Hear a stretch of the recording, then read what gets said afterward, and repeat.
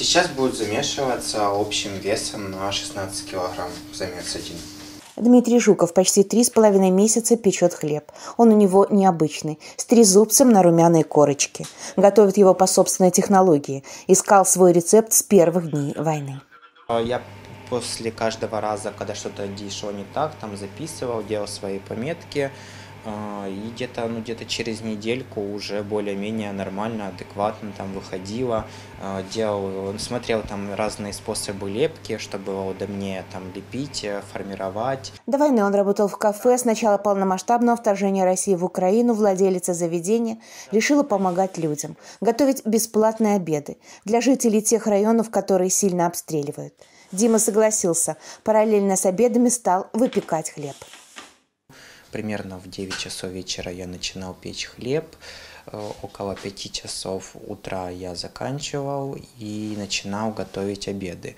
Поначалу я работал от 12 до 13 часов.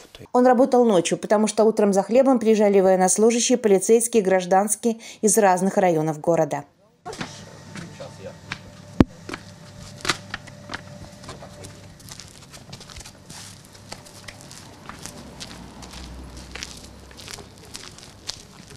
Просыпался в три часа, месил тесто и старался не обращать внимания на звуки взрывов. В полуподвальном помещении маленькой пекарни их было слышно практически постоянно.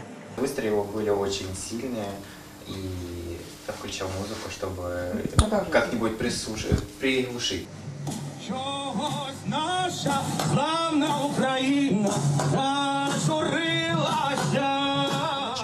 самое начало войны только центр именно бомбили или героев труда. И это было очень сильно слышно. Ты там печешь, оно может что-то очень сильно взорваться, окна могут затруситься.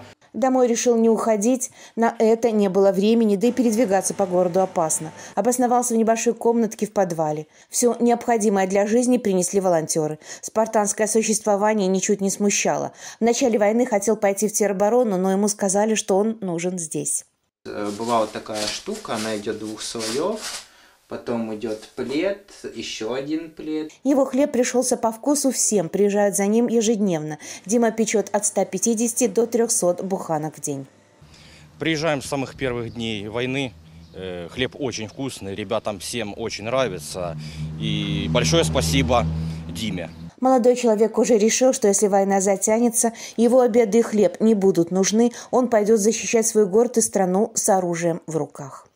Надежда Сухорукова, Андрей Домовой из Харькова специально для информационного марафона «Фридом» телеканала «ЮА».